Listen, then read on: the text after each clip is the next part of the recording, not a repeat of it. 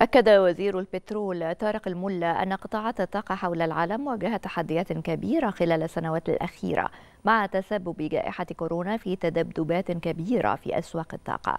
وخلال مشاركته في الاجتماع التنسيقي الأول لمنتدى الدول المصدرة للغاز للتحضير لقمة المناخ العالمية كوب 27 أشار وزير البترول إلى أن التحديات الجيوسياسية غير المسبوقة في أمن الطاقة تتسبب في اضطرابات كبيرة في إمدادات الطاقة العالمية.